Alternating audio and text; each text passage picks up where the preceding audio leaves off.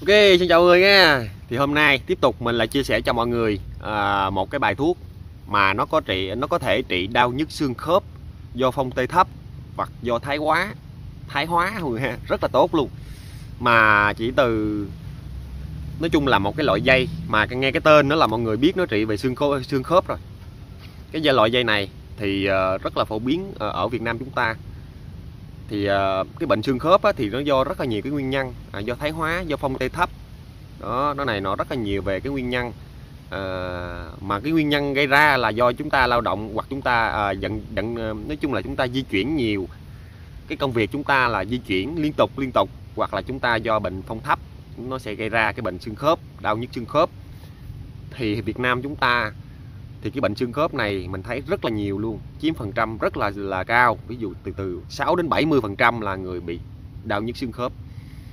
Là do chúng ta lao động ở Việt Nam chúng ta cái lao động đặc thù là lao động về nông nghiệp rất là nhiều từ xưa.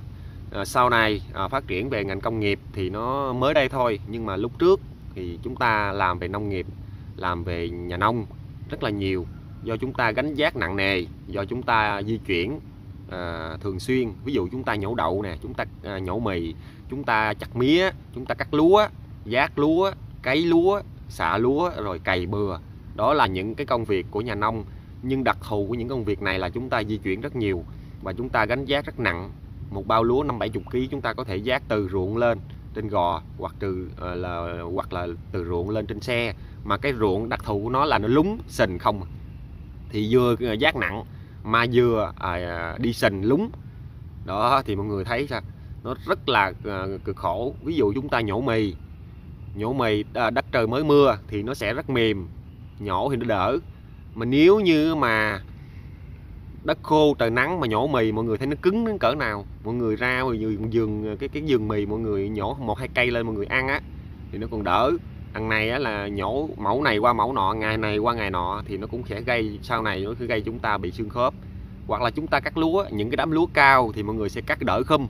Còn những cái đám lúa mà nó bị ờ, uh, thất mùa mọi người nó lùng á hoặc là cái giống của nó lùng á thì mọi người phải khum thật là ờ, lật là thấp mọi người mới cắt được lúa đó. Đó nhổ đậu phộng cũng vậy mọi người phải là mùa mưa thì nó đỡ, còn đất cứng nhổ nhổ nó cứng lắm mà nó rất là cực rất là nặng nề và chúng ta phải di chuyển, hoạt động những cái khớp tay, khớp chân, xương cốt chúng ta hoạt động rất là cao.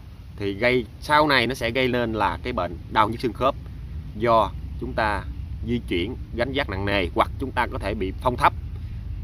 Nó sẽ gây ra cái bệnh đau nhức xương khớp. Thì hôm nay mình muốn chia sẻ cho mọi người. Đây đây mọi người. Mọi người thấy cái dây này không? Đây là cái dây đau xương các người ha? Đây là cái dây đau xương nè. Mà nó có thể trị được rất là nhiều cái bệnh rất là hay luôn. Thì hôm nay mình sẽ chia sẻ cho mọi người một số bệnh về cái dây đau xương này. Mà mình có thể uh, vận dụng cái dây đau xương này mà nó mình chữa người ha? Đây. Cái này là cái dây bò bồng bông nè mọi người. Dây này thì cũng có thể trị bệnh được. Ở đây là cái uh, đọt chọi nè cây chọi dây chọi nè nó non đó nè. Thì cái dây chọi này đây cái đọt non đó nè mọi người. Thì nó cũng có thể trị được à, một cái số bệnh rất là hay luôn và cái bệnh chống lão hóa đó. Rất là hay luôn. Ở đây đây là cây cộng sản mọi người ha. Cũng trị được bệnh rất là nhiều cái bệnh luôn. Mọi người thấy có một cái khu này thôi nè. Đó khu này thôi. Mọi người thấy nhiều cây cây thuốc chưa mọi người? Một cây nè. Hai cây nè. Ba cây nè. Bốn cây nè. Con khu này thôi là bốn cây thuốc. À, còn bên kia cây ba gạt nữa kìa. À, cây ba gạt bên kia. Mình giới thiệu sơ cho mọi người ha. Đây. Cây ba gạt mọi người. Đây nè. Đó. Có khu nhỏ này thôi. Đây, cây cây này là cây củ củ củ mài nè mọi người khu nhỏ này thôi mọi người thấy bao nhiêu cây thuốc rồi? Sáu bảy cây thuốc. Bây giờ mình sẽ à, bứt một cái đoạn à, của cái dây đau xương này. Và mình sẽ à, chia sẻ bài thuốc cho mọi người ha. Dây đau xương.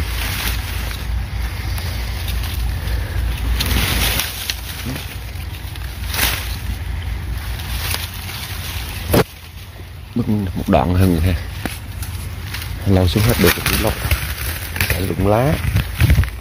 Rồi đó. Dây đau xương hơn người ha. Rồi mình hôm nay mình chia sẻ cho mọi người cái dây đau xương này. Còn à, mấy cái loại kia. Thì à, để bữa nào người ha có thời gian cái à, mình chia sẻ cho người thêm. Cái ba gạt đó cũng trị bệnh rất là hay luôn. Ở cái bồng bon cũng vậy. Bên kia mọi người thấy không? Được chọi quá trời. Bên kia là sóc vậy con.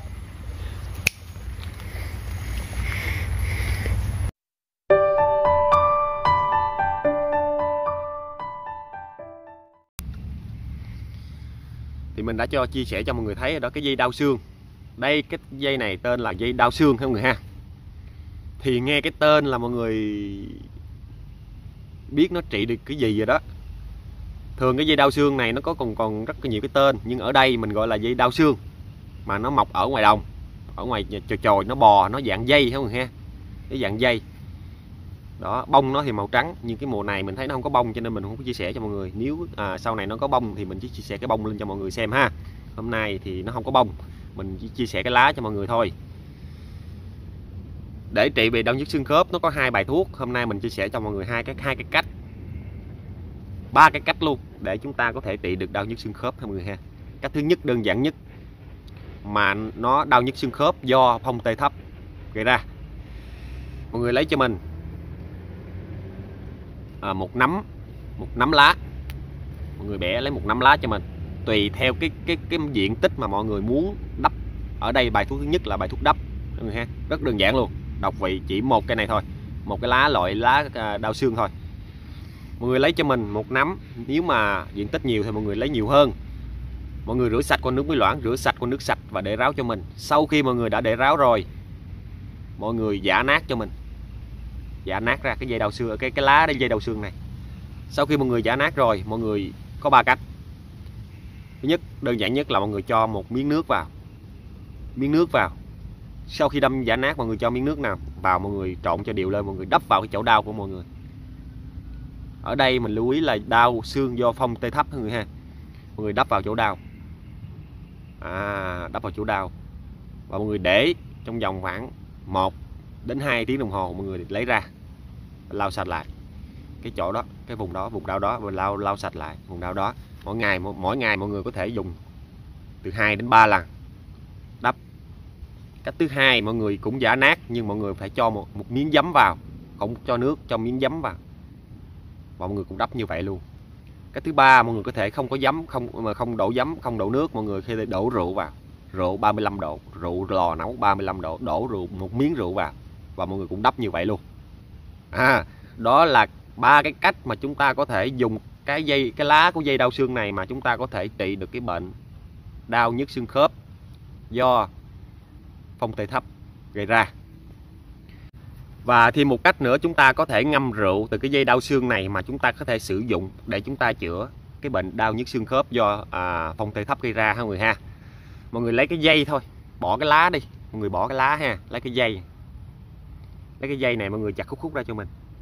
Đó trước khi mọi người à, ờ, làm bài thuốc thì mọi người phải rửa sạch qua nước sạch. Rửa sạch qua nước muối loãng và rửa sạch nước, qua nước sạch và để ráo cho mình. Sau khi để ráo à, mọi người chặt khúc khúc ra như vậy mọi người rang lên cho nó vàng lên. Mọi người bỏ vào cái chảo hay cái nồi gì đó, mọi người rang cho nó vàng lên. Sau khi mọi người rang vàng rồi, mọi người sẽ ngâm rượu. Ha? Cách ngâm rượu đơn giản thôi. Nếu mọi người sử dụng 100g dây đau xương này để ngâm rượu thì mọi người sẽ sử dụng cho mình 500g rượu rượu lò nấu, rượu 35 độ. Ở đây rượu mình không đo bằng ml nhưng mà mình đo bằng ký, mọi người có thể cân được mà. Nếu như mọi người dùng 100 gram này, tỷ lệ 1 năm mọi người ha? 100 gram này thì mọi người sẽ dùng 500 gram rượu. Và nếu như mọi người dùng 1.000 gram này, có nghĩa là một ký dây đau xương mà sao vàng, mọi người có thể dùng 5 lít rượu để mình ngâm. Cái đó là mình ngâm, mình sử dụng lâu dài không người ha? Đó, sau khi mọi người rang 100 gram cái dây đau xương này vàng rồi, mọi người bỏ vào để nguội, mọi người bỏ vào một cái hũ hũ sành, hũ miễn. Đừng đừng ngâm ở trong cái hũ hũ nhựa mọi người ha, hũ sành, hũ miễn á. Bỏ vào, mọi người đổ cho mình là 500 gram rượu đế 35 độ, rượu lò nấu 35 độ. Bỏ vào. Mọi người ngâm cho mình ít nhất là phải 3 tuần. 3 tuần không người ha, mọi người ta sử dụng được. Sử dụng nó, mỗi lần sử dụng một cái cốc nhỏ thôi, một cốc nhỏ vậy này mỗi lần sử dụng một cốc nhỏ và trong bữa cơm mỗi ngày mọi người có thể dùng được 2 đến 3 lần. Trong bữa cơm mọi người ha? Mỗi ngày mọi người sử dụng được 2 đến 3 lần. Mọi người sử dụng đều đặn như vậy, thì trong vòng khoảng 2 tuần đến 3 tuần, thì nó có thể là mọi người sẽ nhận ra được cái kết quả của nó là thuyên giảm rất rõ rệt. Nếu mọi người hợp với bài thuốc từ cái dây đau xương này, thì cái tên dây đau xương thì mọi người cũng biết là nó thế nào rồi ha mọi người ha? Nó trị đau xương mà. Cho nên nó có tên là dây đau xương. Đó đó là cái cách ngâm rượu từ cái dây đau xương này mà có thể trị được cái bệnh đau nhức xương khớp do bị phong tê thấp mọi người ha. Thì ở trong cái dây đau xương này lý do làm sao nó có những chất gì mà nó có thể trị đau xương hay đến như vậy? Thì hôm nay mình sẽ chia sẻ luôn cho mọi người. Cái trong cái dây đau xương này nó có chất alkaloid. Mà cái chất alkaloid này là cái chất à, nó có ảnh hưởng đến dây thần kinh chúng ta. Nó làm cho dây thần kinh chúng ta kháng viêm và nó giảm đau do bị thái hóa mọi người ha. Đó là cái chất alkaloid mà nó có thể tác dụng trực tiếp đến dây hệ thần kinh chúng ta giảm đau và nó kháng viêm. Đó mọi người ha. Và cái bài thuốc kế tiếp mình muốn chia sẻ cho mọi người để mà chúng ta tham khảo thôi. Bài thuốc này mình nghĩ là mọi người tham khảo thôi tại vì nó nhiều vị thuốc lắm. Nếu chúng ta có cơ hội và chúng ta thu thập được đầy đủ cái, cái những cái ờ, nguyên liệu dược liệu thì chúng ta có thể thực hiện mọi người ha. Mọi người lấy cho mình cái dây đau xương này mọi người phơi khô cho mình. Phơi khô cho mình ha. Và mọi người lấy bưởi bung. Bưởi bung cái cây bưởi bung mọi người ha bưởi bung. Đó. Rễ à, cái gất gất mà mình làm sôi á mọi người. Gất cái trái gất mà đỏ đỏ mà làm sôi á rễ gất. Đó. và cỏ xước. Và đơn gối hạt.